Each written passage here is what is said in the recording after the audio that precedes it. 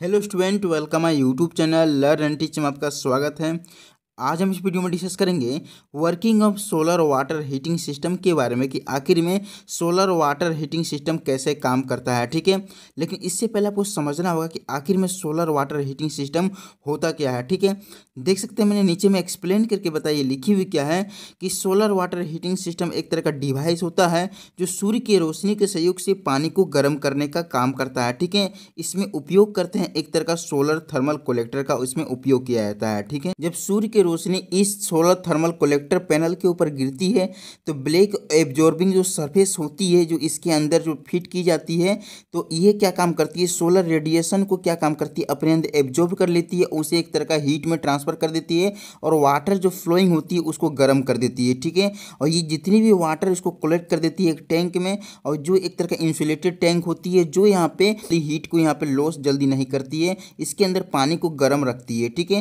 तो इस तरह से इसके अंदर क्या सूर्य की रोशनी के सहयोग से पानी को गर्म कर दिया जाता है? और इसका उपयोग लंबे समय तक आप उपयोग कर सकते हैं, चौबीस घंटे, अड़तालीस घंटे तक इसको इस गर्म पानी का उपयोग कर सकते हैं, ठीक है? अगर इसका यूजेस की अगर बात करते तो इसका लार्ज सिस्टम में उपयोग किया था जहाँ पे बहुत ज़्यादा मात्रा में गर्म पानी की आवश्यकता पड़ती है। जैसे कि मान लीजिए कोई रेस्टोरेंट है, कोई कैंटीन है, कोई गेस्ट हाउस है, या होटल है, या हॉस्पिटल है तो उस जगह पर इसका उपयोग किया जाता है। कम से कम ये यहाँ पे सौ लीटर से लेके कम से कम पाँच लीटर तक पानी को ये गर्म कर सकता है। कम से कम पाँच से आठ घंटा के दौरान, ठीक है, ये सूर्य की रोशनी के सहयोग से, ठीक है? इस वीडियो में सोलर वाटर हीटिंग सिस्टम का जो डिस्कशन कर रहे हैं, इसका सेकंड टाइप है, जिसको एक तरह का force flow solar water heater बोलते हैं, ठीक है? इसमें पंप का उपयोग किया जाता है, जो पानी को फ्लो करवाने के लिए फोर्स का अप्लाई करते हैं, ठीक है? इससे मैंने पहले डिस्कशन किए फ़र्स्ट टाइप जिसको एक तरह का हम लोग थर्मोसीफोन सोलर वाटर हीटर बोलते हैं, ठीक है? अगर उसका वीडियो आप नहीं देखे हैं तो आपको डिस्क्रिप्शन में लिंक मिल जाएँगे, ठीक है? तो चलिए अब समझते हैं सर कंस्ट्रक्शन के बारे में कि आखिर में सोलर वाटर हीटिंग सिस्टम को कैसे कंस्ट्रक्ट किया जाता है, ठीक है? अब आखिर में कौन कौन डिवाइस इसमें उपयोग करते हैं, ठीक है? देखिए, सबसे पहले क्या यहाँ उपयोग करते हैं? सोलर थर्मल कलेक्टर का उपयोग किया जाता है। एक तरह का डिवाइस होती है जो सूर्य की रोशनी को अपने अंदर कलेक्ट कर लेती है एब्जॉर्ब कर लेती है और पानी को गर्म करने का काम करती है, ठीक है? इसमें एक तरह का जिग जिग आकार की पाइप लगी होती है। देख सकते हैं किस तरह से इसमें पाइप लगी होती है, ठीक है? अब क्या होती है? यहाँ पे उपयोग करते हैं, इसमें एक तरह का पानी को यहाँ पे भेजने के लिए उपयोग करते हैं। एक तरह का हॉट वाटर टैंक का उपयोग किया जाता है, ठीक है? देख सकते हैं किस तरह से हॉट वाटर टैंक है। इसमें एक तरह का बॉयलर अटैच होती है, ठीक है? ये बॉयलर को एक तरह का बैकअप बॉयलर बोलते हैं। जब यहाँ पे हमारा सोलर थर्मल कलेक्टर किसी काम से वर्क नहीं कर रही है तो हम इस बैकअप बॉयलर का उपयोग करते हैं और पानी को गर्म करते हैं, ठीक है? अब क्या होती है, ये जो हमारा हॉट वाटर जो टैंक होती है, इसमें दो गो यहाँ पे एक तरह का पाइप लगी होती है, जिसको एक तरह का पहला बोलते हैं, ये पाइप को एक तरह का कोल्ड वाटर इनलेट पाइप बोलते हैं, ठीक है? जिसके सहयोग से इसके अंदर पानी को भेजी जाती है कोल्ड वाटर को, ठीक है? अब क्या होती है, जस्ट इसके ऊपर में यूज़ करते हैं एक तरह का हॉट वाटर आउटलेट पाइप का उपयोग किया जाता है, ठीक है? जिसके सहयोग से यहाँ पे गर्म पानी को निकाली जाती है। अब क्या काम करते हैं, ये जो हमारा हॉट वाटर जो टैंक है, इसमें एक तरह देख सकते हैं, किस तरह से जिगजेक आकार की पाइप लगी हुई है, ठीक है?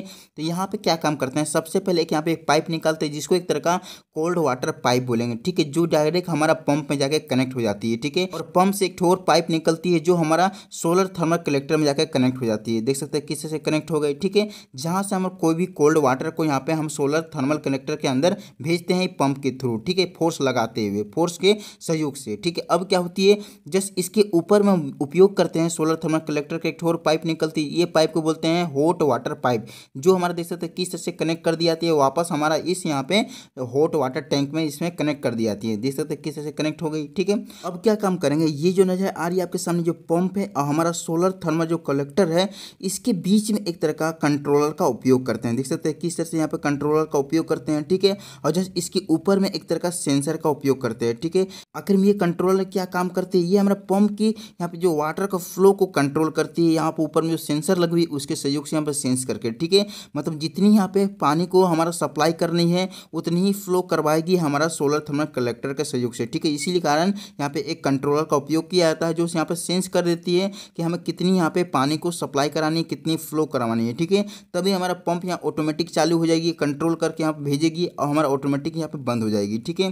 तो इस तरह से इसकी पूरी कंस्ट्रक्शन हो जाती है हमारा सोलर वाटर हीटिंग सिस्टम का, ठीक है? तो चलिए अब समझते हैं इसका वर्किंग के बारे में कि आखिर में सोलर वाटर हीटिंग सिस्टम कैसे यहाँ पे वर्क करता है? आखिर में किस तरह से पंप को यहाँ पे कोई पानी को फ्लो करवाती है? फोर्स के साथ और हमारा सोलर थर्मल कलेक्टर में भेजती है और आखिर में किस तरह से सोलर थर्मल कलेक्टर हमारा सन की रेडिएशन को सन की लाइट को एब्जॉर्व करके पानी को गर्म कर देती है, ठीक है? ये चीज़ को समझते हैं। देखिए, सबसे पहले क्या होती है? ये जो नज़र आ रही है आपके सामने हॉट वाटर टैंक इसमें एक तरह का क्या काम करते हैं?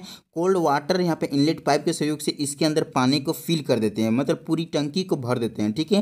देख सकते हैं किस तरह से पानी को यहाँ पे यहाँ पे सप्लाई करने के बाद ये टंकी को फिल कर दिए मतलब पूरी तरह से भर दिए। अब क्या काम करेंगे? ये जो है आ रही है पंप तो पंप को जैसे ही चालू करेंगे तो हॉट वाटर टैंक में जो है कोल्ड वाटर भरी हुई है पूरी तरीके से तो यहाँ पे कोल्ड वाटर पाइप के सहयोग से जो इसका सक्शन पाइप है ना पंप के तो उसके सहयोग से पानी को अपने अंदर खींच लेगी। खींचने के बाद ये पानी को सप्लाई कर दी हमारा डिलीवरी पाइप के सहयोग से सोलर थर्मल कलेक्टर में ठीक है?